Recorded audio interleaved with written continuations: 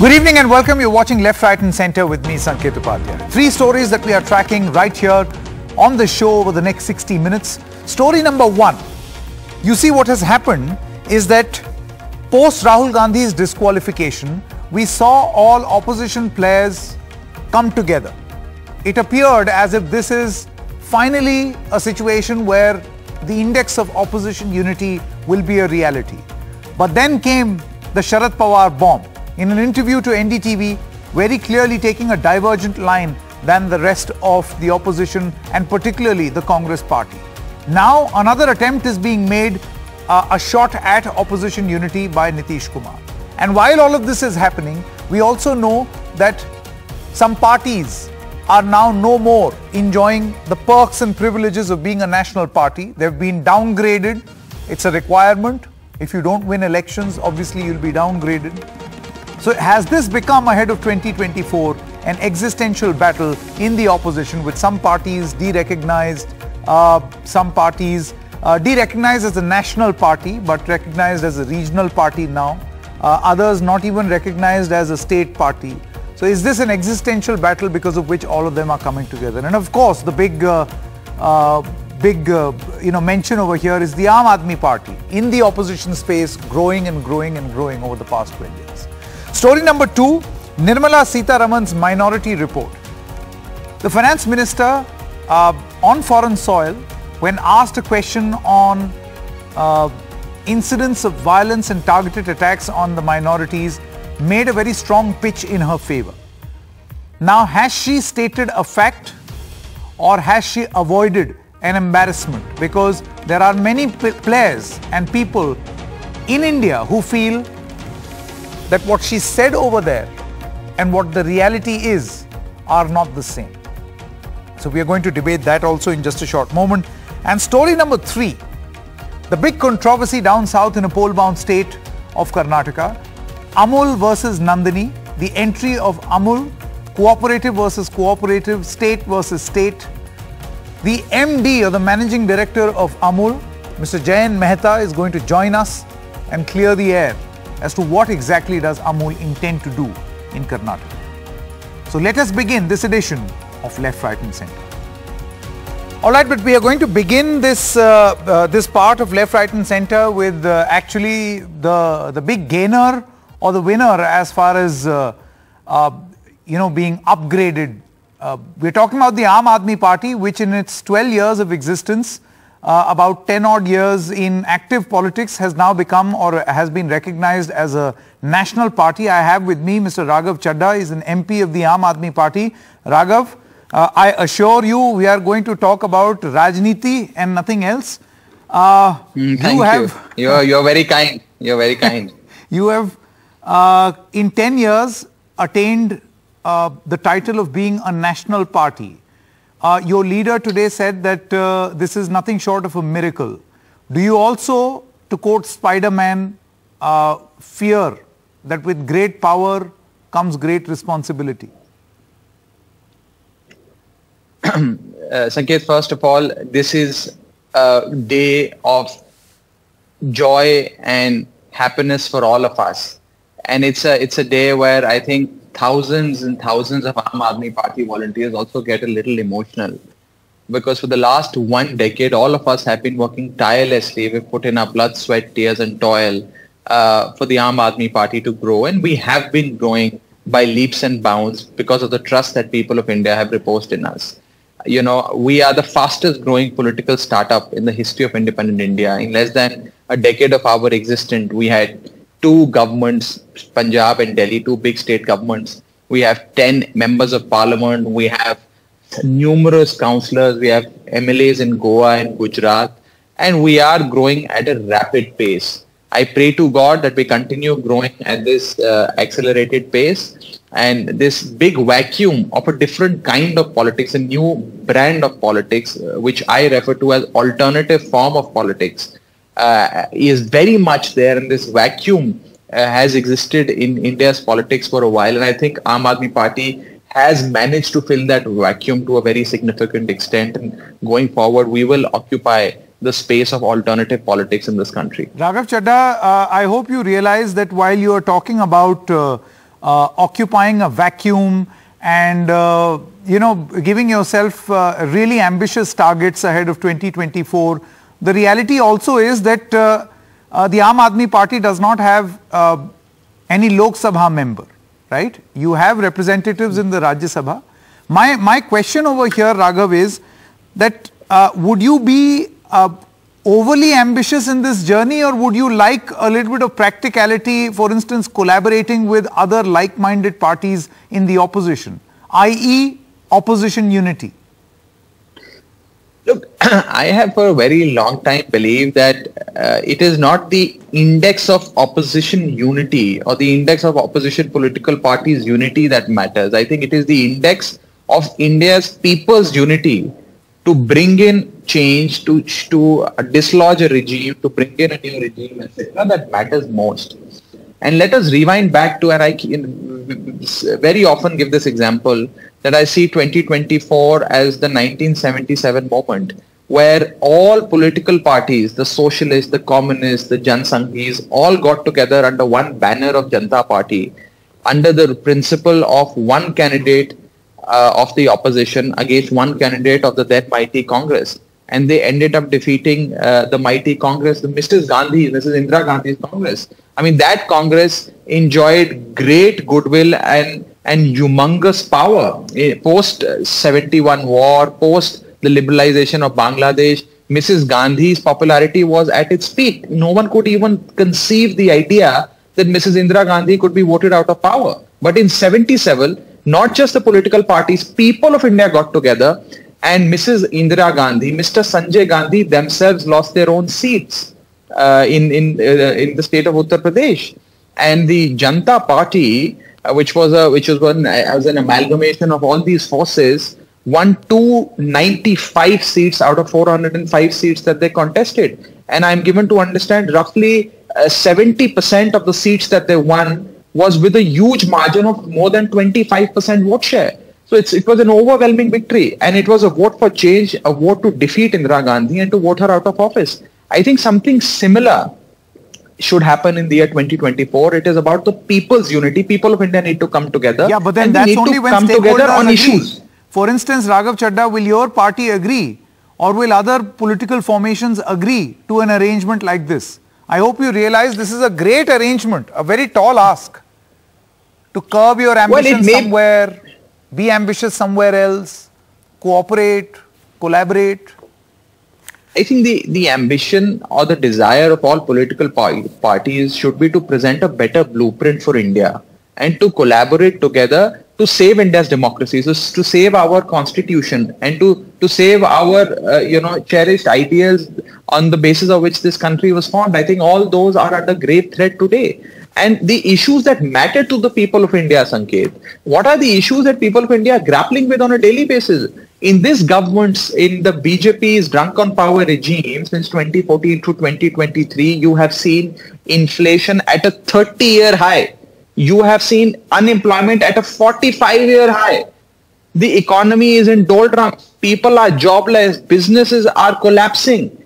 Everywhere in look at the agricultural sector. I come from an, the agrarian state of Punjab. More than 30 farmers in this country are committing suicide on a daily basis. The average debt of an Indian farmer has gone up by 54% ever since uh, uh, Mr. Modi came into office. So it's the picture is very grim. And therefore it's important I certainly believe it's important for people of India to collaborate and above all, of course, political parties to collaborate. What will be the permutation combination is, is a conversation for another day, but it's most certainly desired in the interest of India, in the interest of Indian democracy and saving our constitution. And how do you do that? By coming together because you see the Aam Aadmi Party launched a degree dikhao campaign. Uh, Sharad Pawar uh, of the NCP says, why should degree be a political issue? Then you've got uh, Mr. Uddhav Thackeray who has taken a divergent line from the Congress. NCP uh, not uh, taking the same line as the Congress. So how does the opposition manage these contradictions? And eventually, well, you know, these fault lines will come to the fore as they keep happening. No, I agree. I, look, quite frankly, I mean, political parties tend to differ on several grounds from issue to issue. Uh, we have several ideological differences with the Congress party. Uh, but when it came to the disqualification of Mr. Rahul Gandhi, all of us uh, expressed our anguish and we stood uh, against the BJP for this absolutely unprecedented and, and and malicious attempt to to you know remove an elected member from parliament. Okay. So I think it, uh, the there could be a common minimum program. There could be a basic level of understanding. I am not here to propound on the theory of how po- political parties need to come together.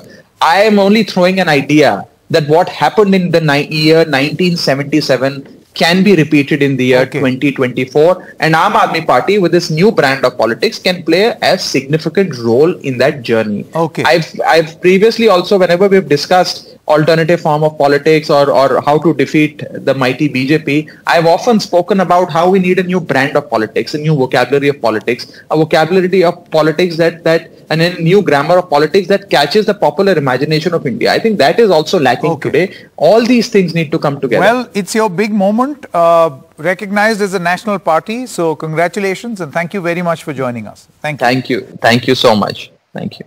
Uh, Professor Sanjay Kumar, psephologist and Professor CSDS, Mr. K.C. Tyagi, Secretary General Spokesperson of the JDU, Aparajita Sarangi, MP of the Lok Sabha for the BJP. Uh, we also have uh, uh, Dr. Nasir Hussain, Rajya Sabha MP of the Congress Party, and we'll be joined in by uh, a few other esteemed panelists also in just a short moment from now. But Mr. K.C. Tyagi, I want to begin with you first. You see, uh, there are some parties that have been downgraded as a matter of procedure nothing else. And then there are others who have been upgraded. We spoke to one MP of a party which has now become a national party. They feel that a 1977 moment is here uh, in 2024. मैं आपसे केसी त्यागी ये जानना चाहता हूं कि अभी भी विपक्षी एकता के लिए जो कदम उठाए जाने चाहिए क्या वो कदम उठाए जा रहे हैं। खासतौर से ऐसे वक्त पर जब हमने देखा कि शरद पवार ने कांग्रेस से और विपक्ष में जो बाकी दल हैं उनसे एकदम अलग लाइन ले ली। ये संकेत जी मैं 77 के मोमेंट का हिस्सा रहा हूँ। जी बिल्कुल। और मैं अभी आ, अपने प्रिय राघव चड्ढा को सुन रहा था। मैं उनसे टोटली डिसएग्री करता हूँ जब वो कहते हैं कि पीपल्स यूनिटी तो पीपल्स यूनिटी तो जनता के द्वारा चुने गए सांसदों और पॉलिटिकल पार्टीज़ के ज़रिए होगी। कैसे ये तमिलनाडु में पीपल्स यूनिटी कर लेंगे दिल्ली में बैठ करके? मैं उनके, मैं राष्ट्रीय पार्टी होने पर मुबारकबाद देता हूँ, लेकिन इससे पहले NCP, CPI, CPM, Samata party, BSP, SP, ये सब राष्ट्रीय पार्टी रह चुकी हैं। तो आज नहीं है। 77 में जो एटमोस्फियर था that was a people's movement led by Jayaprakash Narayan और उससे भी कुछ नहीं हुआ तो मैं थोड़ा समय आपका और लूँ। उस समय चौधरी चरण सिंह जो थे सबसे बड़ी पार्टी के नेता थे लोकदल के। वो चाहते थे कि टोटल अपोजिशन यूनिटी हो। ना उसके लिए जेपी जेपी तैयार थे। जेपी वही कह रहे थे जो आज राघव चड्डा कह रहे कि नहीं पीपल्स मूवमेंट होगा और जनता अपने आप फैसला कर लेगी। जब हम सब लोग जेल में गए तो जैसा मूवमेंट हम एक्सपेक्ट कर रहे थे ना तो आरएसएस का तरफ़ से हुआ, जो सबसे बड़ी उस समय सेना अपने आप को मानते थे। चौधरी चरण सिंह बहुत लोकप्रिय नेता थे उत्तर भारत के। ना उनका कोई आंदोलन चला। जयप्रकाश जी बहुत लोकप्रिय थे। ना उनके कहने पे सड़कों पे लोग आए। जब हम जेल में चले गए, सारे सिविल राइट्स खत्म हो गए। प्रेस की आज़ादी समाप्त कर दी गई। और दूसरे सब फंडामेंटल राइट खत्म हुए। जब हम जेल से आए जनता तंग हो चुकी थी। फिर भी जेपी को लीड लेनी पड़ी एक पार्टी बनाने के लिए। एक पार्टी बनी एक चुनाव चिन्ह बना। हमने आपस के मतभेद बुलाए तब हम जीत पाए। यद्यपि दो साल के बाद लड़ झगड़ के हम बैठ गए। लेकिन जो मैं कहना चाहता हूँ वो ये है कि आज भी जनता में निराशा है। ये भी सही है पर लीड कि जो सेवेंटी सेवन टाइप एटमोस लीड लेने के लिए नीतीश कुमार जी ने सितंबर के महीने में सोनिया जी से और राहुल जी से आकर के मिले थे और लालू प्रसाद जी। सात महीने हम लोगों ने बेकार किए। हमने तब उनसे कहा था कि आप बड़ी पार्टी हो। एक तो मैं एक और चीज़ क्लियर कर दूँ।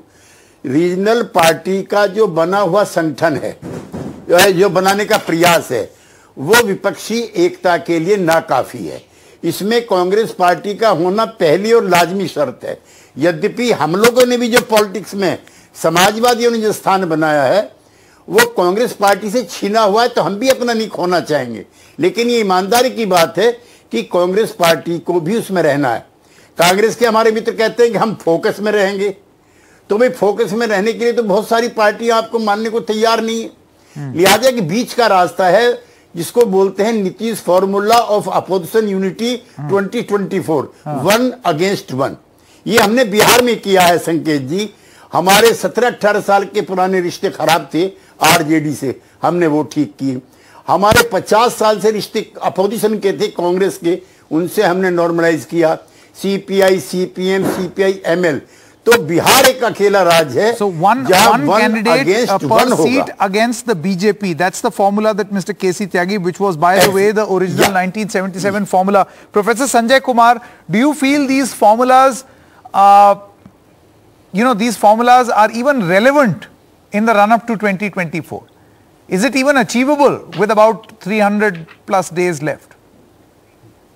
Uh, Sanket, you have asked two questions. Is it relevant? I think yes, it is relevant because that's the only way you can, you know, stop prime, uh, BJP uh, for coming to power in 2024. But your second question, is it achievable? Is it possible? I think there's a big question mark on that, Sanket. I would put a big question mark because if we look at the nature of contest in different states and look at the kind of posturing by leaders of different political parties, I think uh, it's very difficult, almost impossible to achieve this one-to-one fight against BJP. Okay. Uh, Aparajita Sarangi as well as Dr. Hussain. Dr. Hussain, I want to come to you first. You see, this is a very daunting task and a challenge for the Congress party. And a party after party in the opposition space uh, has come to realize that Congress has to be a part of this formation. And yet, Dr. Hussain, we do see that there are many divergent views within the opposition on extremely basic issues. So in that sense, a common minimum program, a common ideology or a common meeting ground is something which has not been agreed upon. Do you think does only a post-election formation is possible and nothing before that? Too many egos involved.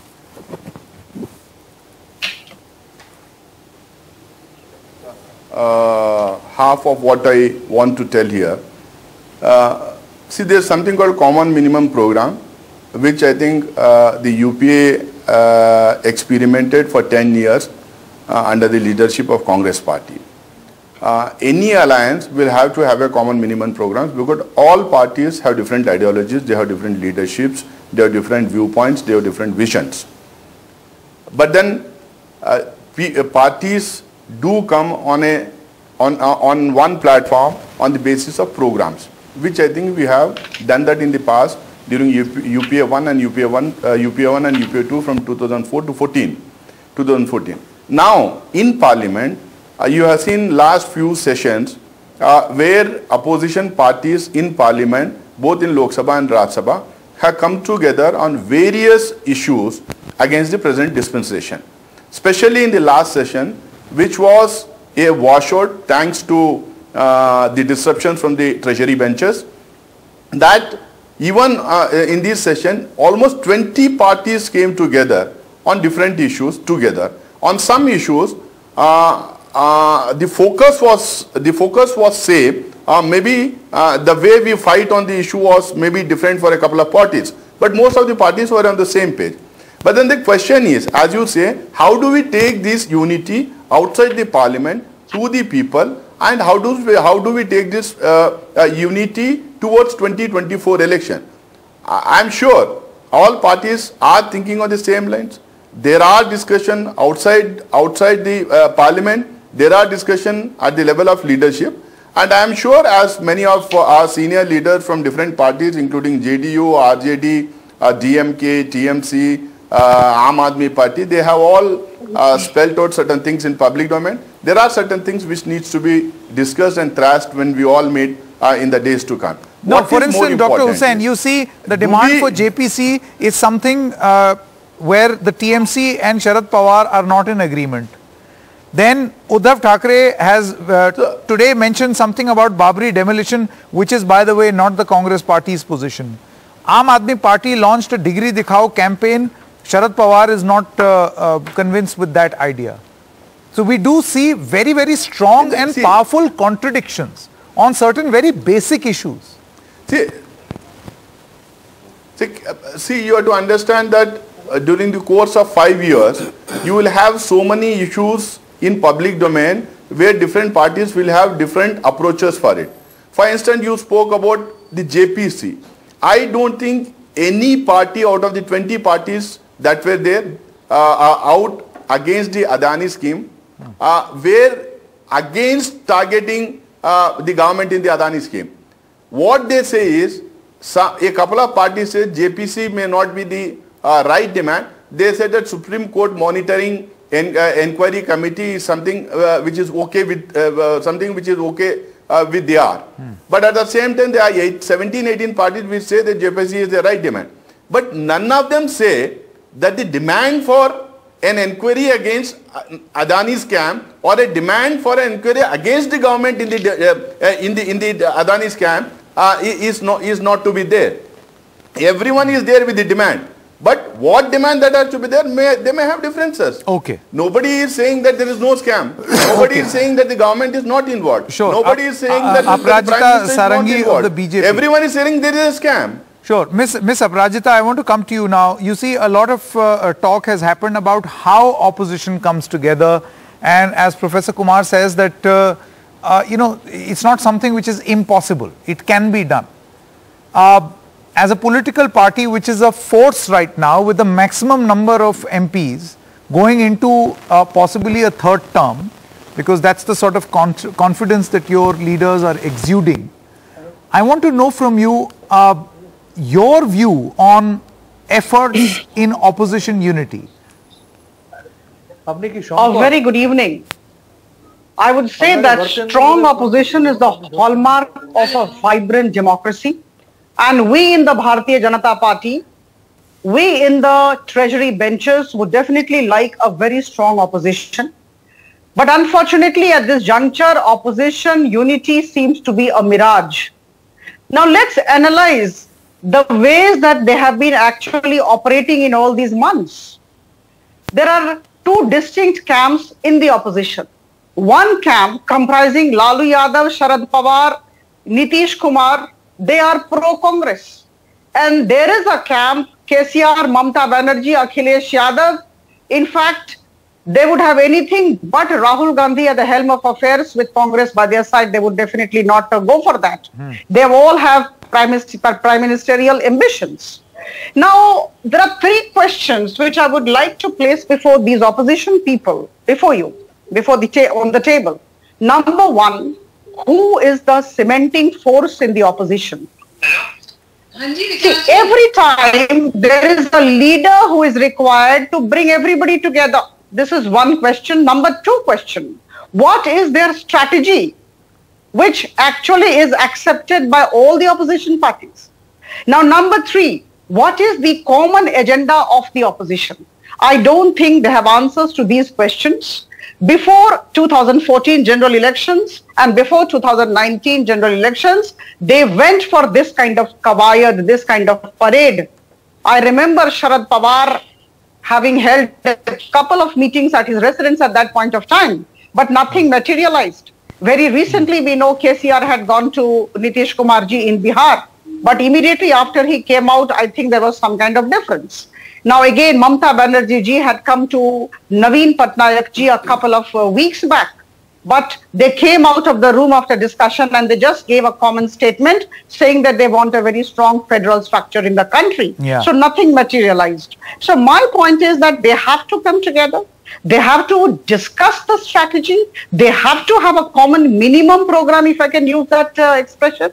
And then only then they can think of battling against BJP. Okay. See, Bharatiya Janata Party handles the entire thing very professionally. We are aiming at more than 300 seats this time in the Lok Sabha. And we are actually working very hard for it. We have Do- a strategy. Dr. Shantanu we have Sen, actually Rajya gone Sabha for all the the ground Trinamool realities. Congress is now also with us. And we are Ms. putting Sarangi, in I want hard to come work. back to you. Just, just allow me a moment. Yeah. Uh, Dr. Sen of the Trinamool Congress is also with us. Okay. Dr. Sen, you see, uh, at a time when your party has lost the status of being, uh, you know, a national party, at a time when many other parties have also lost that status, uh, do you feel it's it's about time that one must not just talk about opposition unity, but actually look at a formulation or a formula as suggested by uh, Mr. K.C. Tyagi, which was the old socialist formula of one candidate against your principal opponent? Before I answer your question, I must tell you one thing. Whenever you are inviting some guest, please try to do honor to that particular guest. I have been waiting since last 35 minutes. Hmm. I don't think it is good for any guest from whatever party My, my apologies, Dr. Sen. And here I am representing the... No, no, no. Every time this has happened even before. Hmm. This should not be done. I must, I, I am telling it on record. Anyway, yes. let me come to your answer. Hmm. Trinamool Congress is the third largest political party of the country and Trinamool Congress is the second largest opposition of the country. But my, my, to my utter surprise, you are more obsessive regarding this united opposition and you are much less obsessive than the much more important issues mm.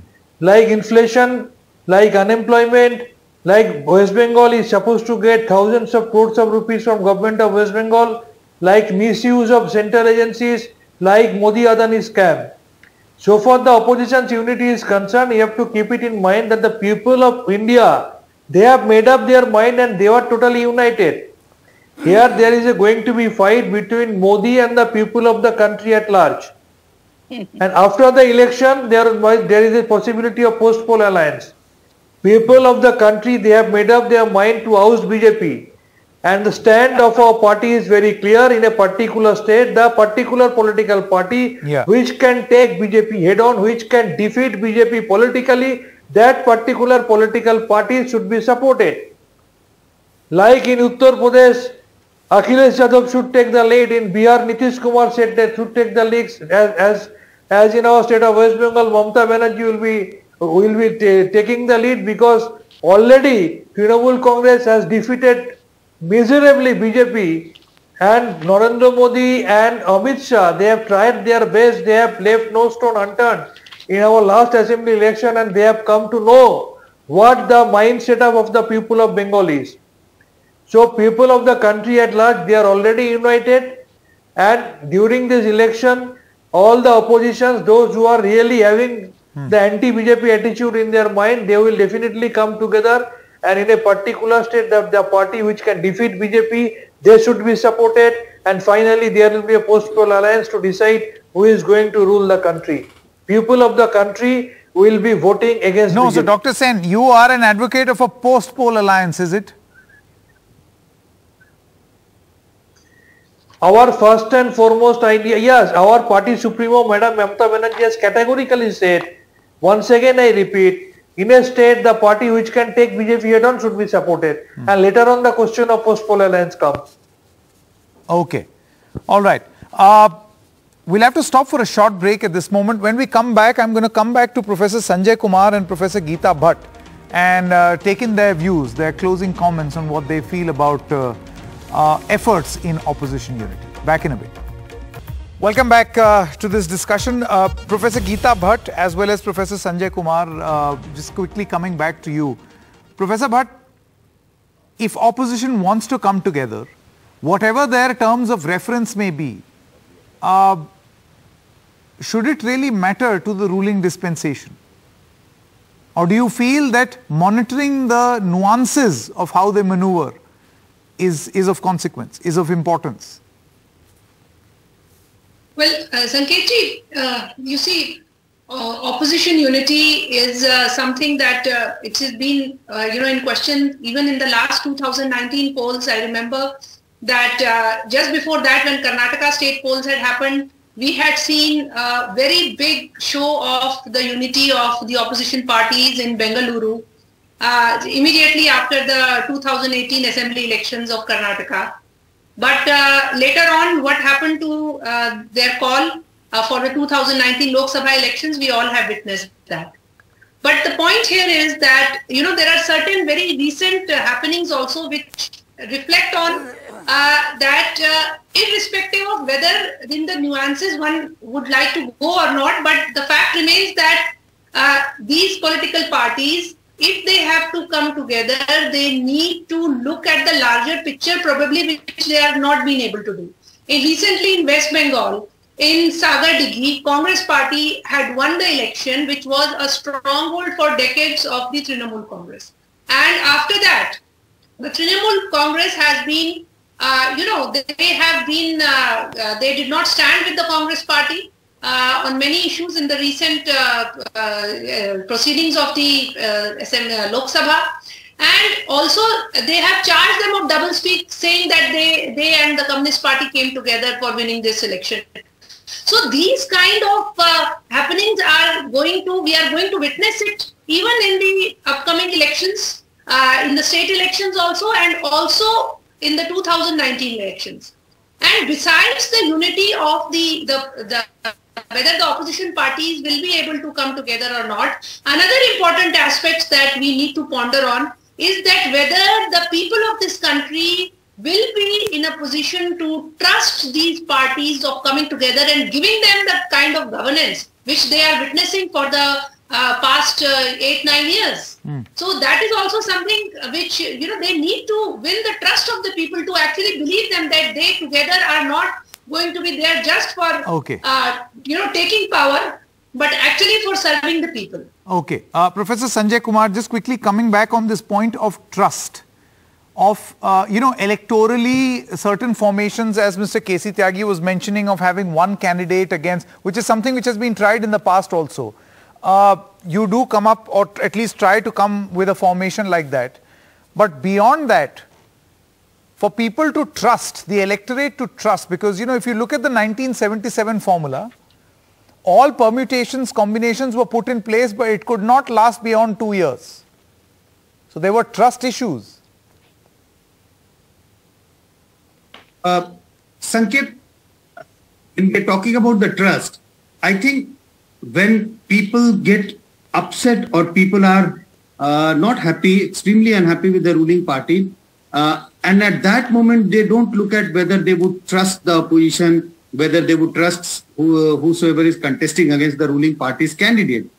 So uh, when that situation comes, people don't look, people don't keep aside the question of trust or distrust. But I don't think we have reached or the country or the people have reached such a situation. The situation is of that kind that people are ready to vote whichever candidate is put against the BJP candidate in large number of constituencies. That situation has, hasn't come. And if that situation doesn't come, then people do really care about whether they would trust the candidate who, is, who has been put up against uh, the BJP. And remember, Sanket, if such situation arises that there is a one candidate against BJP, the BJP's campaign will be around uh, in order to defeat Modi, in order to defeat BJP, all the parties have come together and this narrative has been already yeah, been built, yeah. built by the BJP that uh, while Prime Minister Modi keeps saying, मैं corruption के खिलाफ लड़ाई लड़ रहा हूँ और सारी विपक्षी कोalition of corruption correct करप हाँ करप्ट पार्टियाँ मेरे खिलाफ एकजुट हो रहे हैं So I think this narrative people will, maybe people will trust this narrative more than the narrative which opposition will try to build. Okay. Okay. Very, very interesting point that has been made. However, now uh, Mr. Nitish Kumar is trying to restart talks of a future alliance at a time when Sharad Pawar dropped the bomb. Thank you very much for joining us on discussion number one. Thank you so much. So a statement was made by Union Finance Minister Nirmala Sitharaman on foreign soil where she was asked a question on uh, targeted attacks against minorities in India. She responded, we would like you to listen to what she said and then we begin our discussion. To say it's all the blame of government of India, I would want to say, then tell me between 2014 and today, has the population dwindled? Has the deaths been disproportionately high in any one particular community? So I would rather invite these people who write these reports to come to India. I'll host them. I host them. Let them come and let them travel along with me and prove their point. So on the show, we're asking a simple question. Nirmala Sitharaman's minority report, is she stating a fact when she says that the population of Muslims has not diminished. In fact, uh, uh, it's only growing. So this is proof that they're not being persecuted as uh, perhaps in the neighborhood. Is this uh, a fact? Because it is. But then does increase in population necessarily mean uh, no targeted attacks?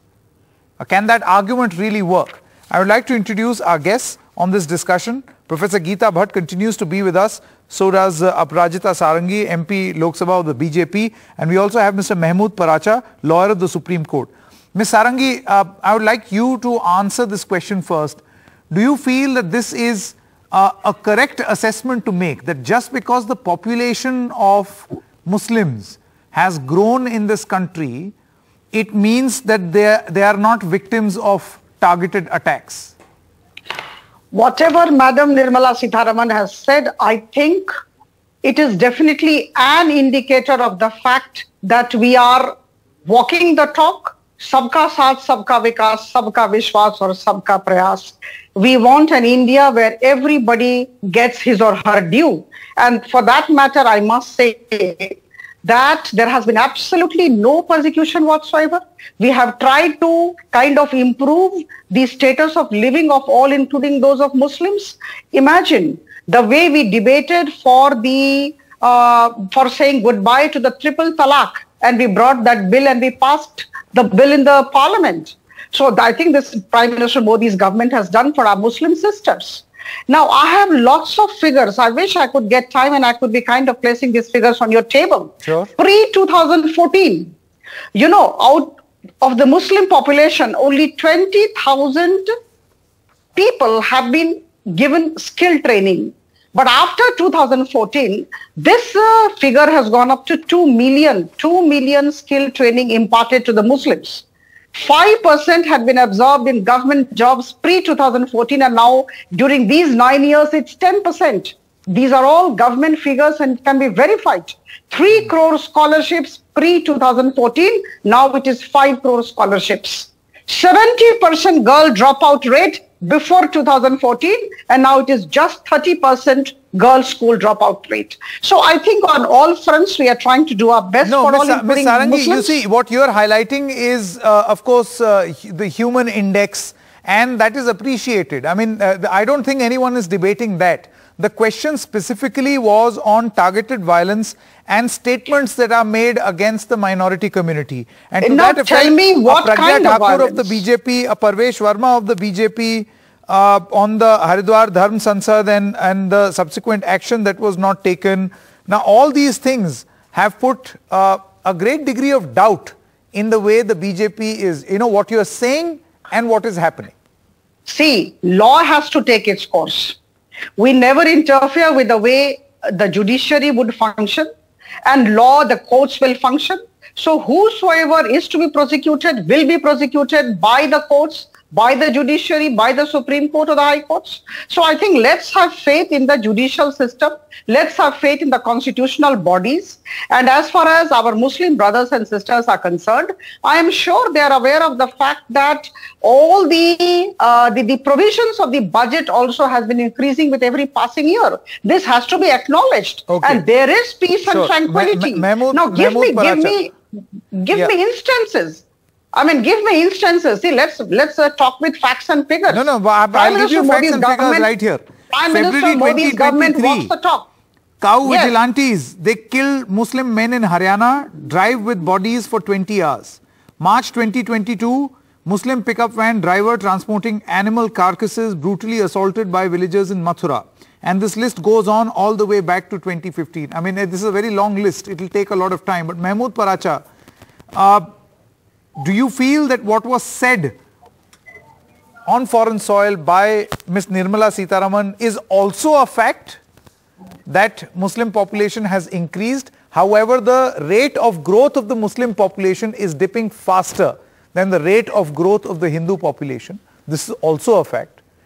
But it is also a fact that targeted attacks are also happening on Muslims. Everything is a fact. But the biggest fact remains that a cabinet minister, that to finance minister of the country, goes to Washington and raises India's internal issues. I mean, this is the worst than any member of parliament going to any university and saying things. This is our own cabinet minister. going and raising our internal issues and trying to present a picture which is so hollow that that will be used as Mr. a platform. Paracha, she was asked a question. That's what I'm saying. She should have said, being What a minister, kind of I statement is this? affairs. Now you Kind of statement you is this? cannot criticize now a simple member of parliament going there and talking there. So this is worse than that. That is one. Two, then you say something. I'll give you a right to reply, Ms. Aparajita. Can I can I finish? Yes, please. Or will I be getting another chance? No, no, no, no. Please carry on. Now, the fact remains that this argument was such absurd argument. There are Supreme Court judgment, there is empirical data, there is law commission's report, there is there are reports of scheduled caste community, uh, scheduled caste uh, commission reports, tribe minority commission's reports, which say that targeted killing of scheduled caste, scheduled tribe and Muslims are on the rise. Now, exposing India by saying such an absurd thing that because the population is increasing, population is increasing, that but India is going down on every human index, not just Muslims, eh, scheduled caste, scheduled tribe. So exposing India to such a dangerous situation by our own finance minister and that to something which she should not have done. And I mean, we will discuss our problems, fight within the framework of our constitution inside India, but not outside. This is absurd, ridiculous. All this is being done. Now, main thing today remains. What is the main issue? Mr. Adani and Mr. Amit Shah. Mr. Amit Shah himself goes to Bihar and says that I will uh, hang these people upside down.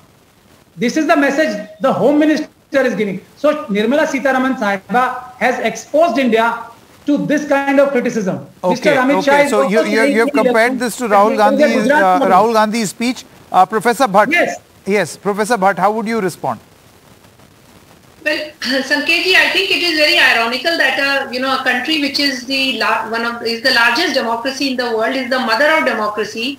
We have to prove you know our secular credentials on a world forum because there are there is an ecosystem worldwide which uh, tries to you know produce the kind of reports trying to portray that minorities are not safe in India. Now, historically also, we are the, the we in on our soil first mosque outside the Middle East during Prophet Muhammad's time in the 7th century, Cheraman Mosque in Kerala was built on this soil. There can be innumerable such uh, you know examples which can be given here. 1,000 Poli- Polish women and children were saved by Maharaja of Jamnagar during the World War II when at that time nobody including the British were ready to take them and save them. For more than two years, he looked after them during that time, and you know, and then they returned back to their country. So it is really very unfortunate. But as Sarangi ji also, you know, explained with the data, you know, we can we very clearly see that in the past couple of years, the the way the minorities have been empowered and the way they have been integrated with the mainstream. Earlier, they were secluded. They were not the part of the mainstream at all. They were always being given, trying to be portrayed as if that they are being favored by giving them, you know, various kind of schemes, but they do not want to be patronized. They I'm, want I- to I'm be again part saying of you're this talking country. about you you are talking about human development index. I am talking about issues of targeted attacks because that was the crux of the question. Uh, yes, Sanketji, you know, there have been there have been uh, various such unfortunate incidences, but is it that they only happened in the last couple of years? 2009, 7, uh, 2013 Muzaffarnagar riots. Who was the, uh, Nirmala Sitharaman ji said it very correctly. It's a state law and order is a state subject. Who Okay. was in power at that time in Uttar Pradesh? We very Okay. well know that. Bhiwandi riots in 1970s, which is one of the worst riots in the you know in the very history of riots in this country. Who was in governance at Sure. that time?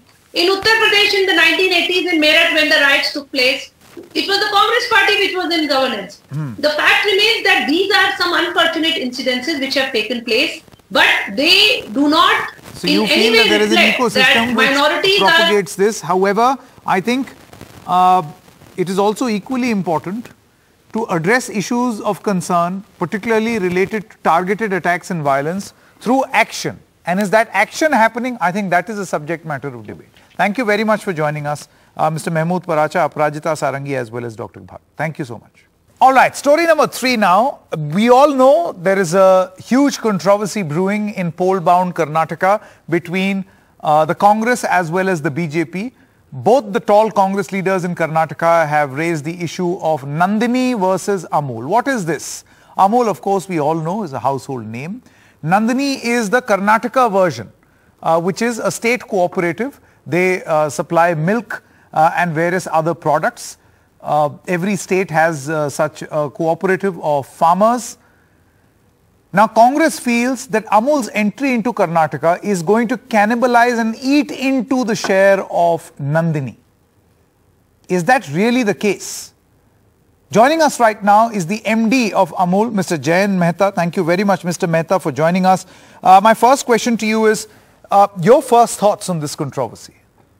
Uh, per se, let's um, uh, first uh, understand that this is not a controversy of Amul versus Nandini. Amul and Nandini are both cooperatives owned by the farmers of our respective states, uh, Gujarat and Karnataka. And we've been working together for not just last few years, but several decades uh, to make India the largest producer of milk in the world. So we work with the common business model. The Amul model itself uh, has been replicated there. And uh, the purpose and the mission of both these organizations is the same. So there is a huge degree of cooperation between both our cooperatives. And um, together, uh, we've been able to benefit both our farmers as well as consumers. You know, Mr. Mehta, uh, do not intend to drag you into a political battle, but just wanted to know from you as the MD of Amul, uh, you know, there are certain concerns that have been raised that you will go there and then you will end up affecting the sales and the network of Nandini itself. How do you respond to this? This is a very, a very uh, wrong assumption that uh, our, our entry into this pouch milk market of Bangalore in a limited way is anyway going to hurt uh, the farmers of Karnataka. Actually, the things are uh, very different. We've been working very closely uh, of not just uh, selling our fresh milk in Karnataka since last seven, eight years in North Karnataka. We've been selling in the Belgaum Hubli region. Uh, the same Amul milk in pouches at the prices at which we are planning to sell in Bangalore. So, uh, and nothing has gone wrong with Nandini. On the contrary, our premium most product Amul ice cream, we are making at Karnataka in uh, three of the facilities of Nandini and uh, been doing good business since 1998. So this is how we've been able to create a market of the milk uh, and the using of their facilities uh, in Karnataka and South India under the Amul brand name. Uh, so huge amount of collaboration exists and our entry into Karnataka at the prices of 54 rupees of Amul versus 39 rupees of Nandini, our select distribution effort only through e-commerce and uh, a very limited uh, range of products available actually poses no threat to Nandini in any way.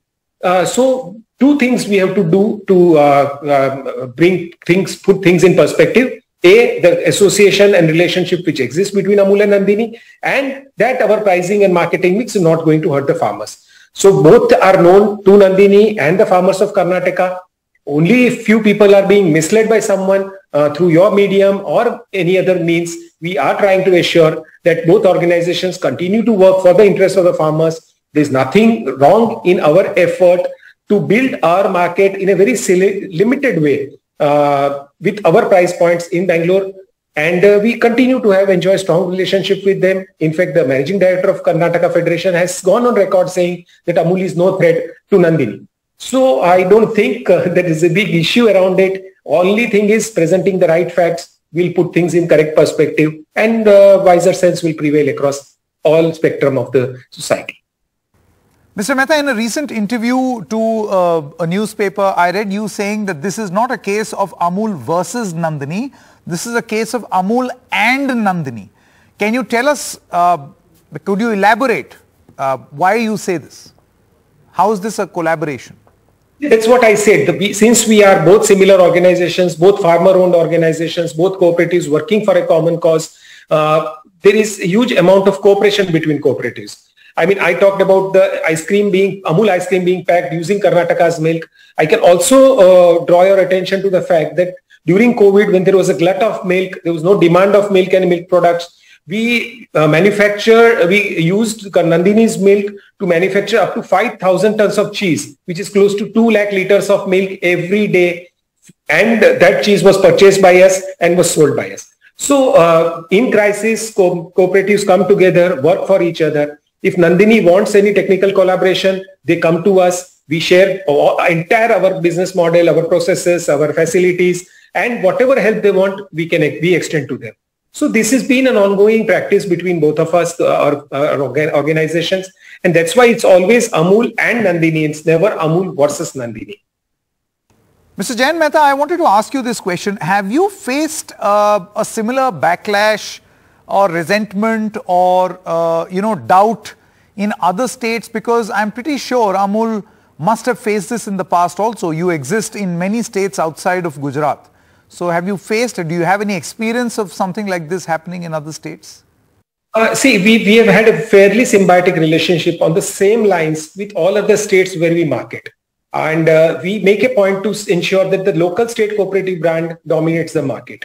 I can give examples of Saras in Rajasthan. We've been selling milk in Rajasthan for more than 20 years. Saras's sale has not come down by a liter. Uh, they have grown the market. We have grown the market. In fact, we procure the milk together in the respective states, be it Bihar, be it uh, Punjab, be it uh, Rajasthan, be it Madhya Pradesh, be it Haryana, be it Maharashtra, West Bengal, Andhra Pradesh. So in most of the states where we procure milk also, we market milk also, and you'll be surprised to note that the prices of milk are either comparable or their prices are higher by uh, lower by just a couple of rupees. We are higher by a couple of rupees. So we never undercut any local state cooperative brand, and we work with them in tandem as far as the procurement of milk is concerned, and also sales of milk in concerned in the same market. And no cooperative ever in any of the states, and I mentioned a dozen states, uh, have had any issue of uh, Amul working with the local state cooperative brand. Because fact of the matter is very clear. Two cooperatives brand can are more successful in keeping the private and multinationals out, which ensures that the exploitation of farmers can never happen, both from the procurement point of view and consumers definitely benefit when they are having two strong cooperative brands available to them and uh, that expands the market also. So this is how has been our relationship and that's why uh, we are very confident that once the Karnataka consumers uh, get two brands available to them, which has been always happening since 2015-16 as far as some markets are concerned, uh, I don't think there is any reason to worry. And the kind of advantages Nandini enjoys in uh, Karnataka market and Amul would never have that benefit. Uh, there is there's not going to be even one liter cannibalization of a Nandini customer to an Amul customer for sure. On the contrary, we will protect the market. Amul operates at the higher end at the current prices. Nandini operates at the mass market rates. And together, actually, we'll be able to ward off the competition of almost a dozen brands in that market. And then eventually the farmers of both our right. Okay. All right, Jayen Mehta, thank you very much for joining us, uh, MD of Amul and clearing the air. Let's hope that people do not milk a controversy. That's all the time we have in this edition of Left, Right and Center. News continues on the other side. Stay with us.